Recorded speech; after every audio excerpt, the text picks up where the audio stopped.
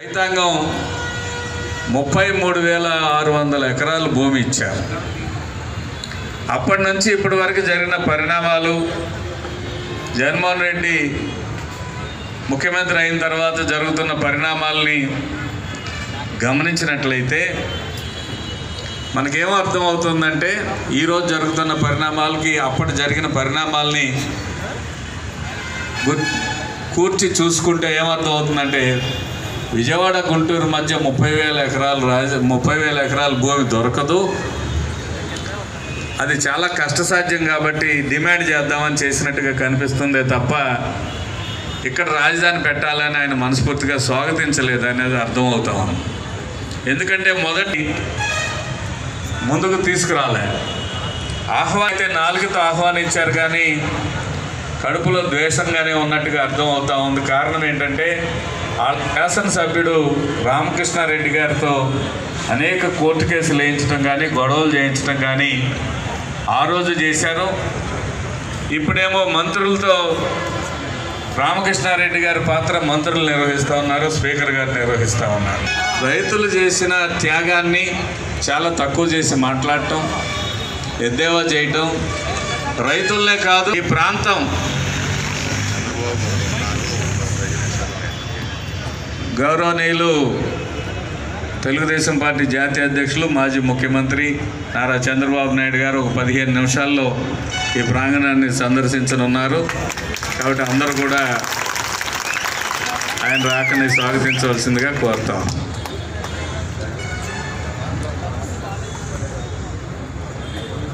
ఈ భూమి ఇచ్చిన రైతాంగాన్ని గౌరవించకపోగా రైతులనే కాకుండా రైతుల త్యాగాన్ని కూడా తక్కువ చేసి మాట్లాడటమే కాకుండా చివరికి ఈ ప్రాంతాన్నే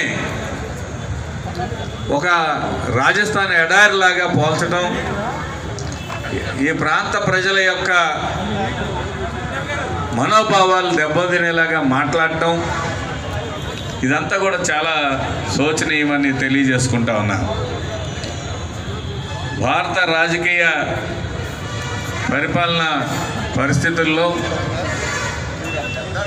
ఎప్పుడు కూడా ఇలాంటి మూడు రాజధానుల ఆలోచన ఇంతవరకు రాలేదు. ఎవరికి రాలేదు? ఎవరు కూడా అట్లాంటి ఆలోచన చేయట్లేదు. నిత్య జీవితంలో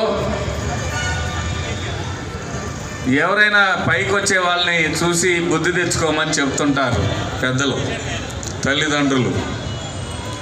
బాగా అభివృద్ధి చెంది చక్కగా చదువుకొని లేకపోతే మంచి సం సంస్కారంతో ప్రవర్తించే వ్యక్తులను చూసి లేదా ఒక ఊరికి మరొక ఊరు పోటీ ఏంటంటే అభివృద్ధిని చూసి చెప్తారు.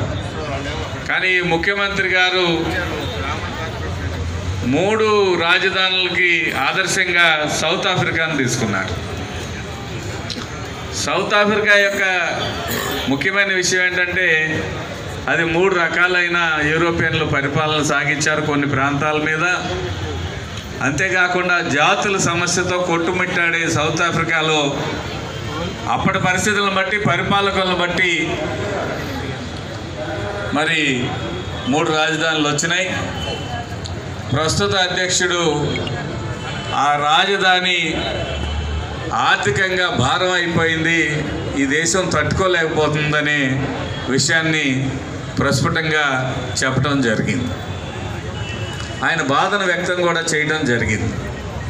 మరి భారతదేశానికి రాజధానిగా ఒకప్పుడు కలకత్తా కూడా ఉంది.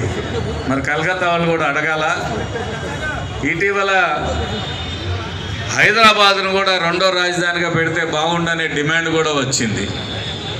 ఈ విషయంలో జాతీయ పార్టీ అధికార పార్టీ అయిన భారతీయ జనతా పార్టీ కూడా స్పష్టంగా ప్రకటించాల్సిన ఆవశ్యకత అవకాశాన్ని కూడా వివిధ కమిటీల పేరుతో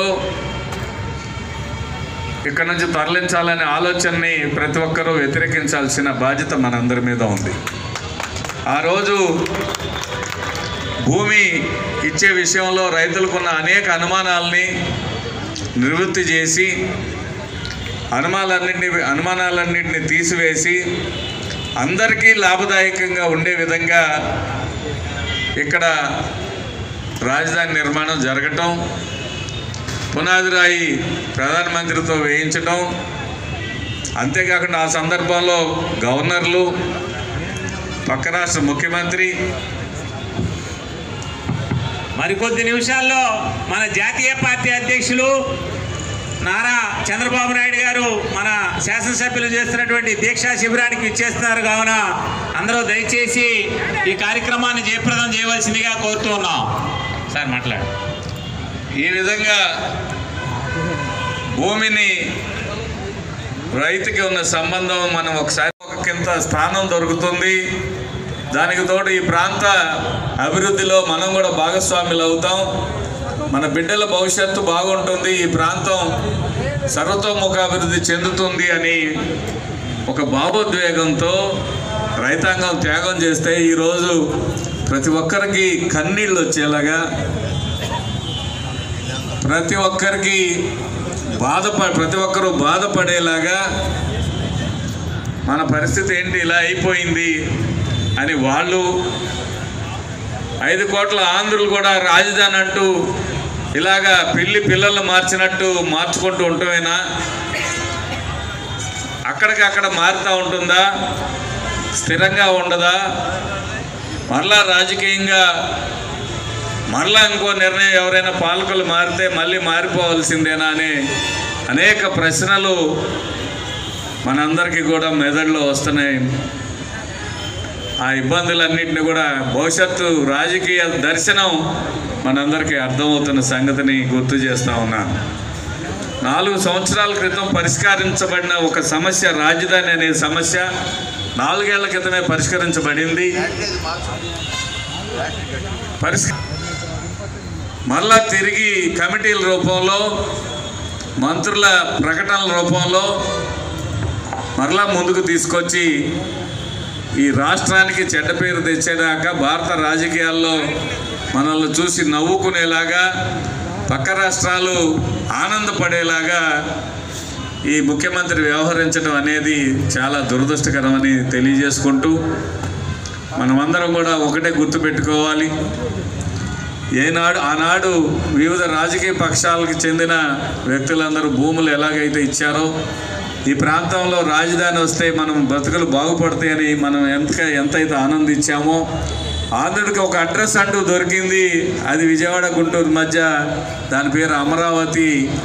ఆ అమరావతిని సుస్థిరంగా కాపాడుకోవటానికి ప్రతి ఒక్కరు కూడా దీని మీద ఆలోచన చేస్తున్న ప్రతి ఒక్కరూ అన్ని సంఘాల ప్రజలు సర్వమత ప్రార్థనలు ఏ రకంగా అయితే చేసామో సర్వజనులందరూ కూడా ఈ సమ్మెకి ఈ నిరసన దీక్షకు మద్దతుతో పాటు ప్రభు జాయింట్ యాక్షన్ కమిటీగా అన్ని వర్గాల ప్రజలు జాయింట్ యాక్షన్ కమిటీగా ఫార్మ్ అయ్యారు. వారు ఏ పిలుపిస్తే ఆ పిలుపుకి మనందరం కూడా మద్దతు ఇచ్చుకుంటూ రాజధానిని కాపాడుకోవాలి.